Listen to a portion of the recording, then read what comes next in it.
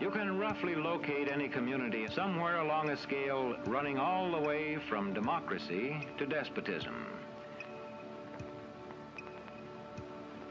This man makes it his job to study these things. Well, for one thing, avoid the comfortable idea that the mere form of government can of itself safeguard a nation against despotism. For big business, despotism was often a useful tool for securing foreign markets and pursuing profits. One of the U.S. Marine Corps' most highly decorated generals, Smedley Darlington Butler, by his own account, helped pacify Mexico for American oil companies, Haiti and Cuba for National City Bank, Nicaragua for the Brown Brothers Brokerage, the Dominican Republic for sugar interests, Honduras for U.S. fruit companies, and China for Standard Oil. General Butler's services were also in demand in the United States itself in the 1930s, as President Franklin Delano Roosevelt sought to relieve the misery of the Depression through public enterprise and tougher regulations on corporate exploitation and misdeeds. More power to you, President Roosevelt. The entire country's behind you, thrilled with hope and patriotism. But the country was not entirely behind the populist president. Large parts of the corporate elite despised what Roosevelt's New Deal stood for.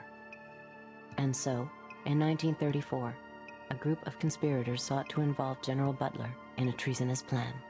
The plan as outlined to me was to form an organization of veterans, to use as a bluff or as a club at least, to intimidate the government. But the corporate cabal had picked the wrong man. Butler was fed up with being what he called a gangster for capitalism.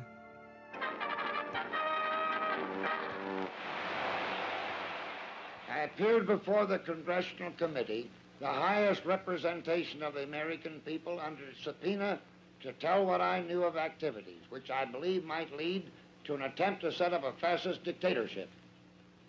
The upshot of the whole thing was that I was supposed to lead an organization of 500,000 men, which would be able to take over the functions of government. A congressional committee ultimately found evidence of a plot to overthrow Roosevelt.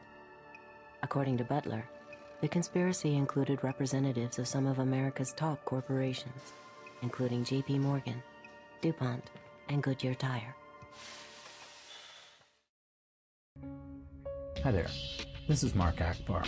I produced and co-directed The Corporation, and this is the official shareware version of the film. I'm proud of the fact that hundreds of thousands of people have already downloaded and shared this film.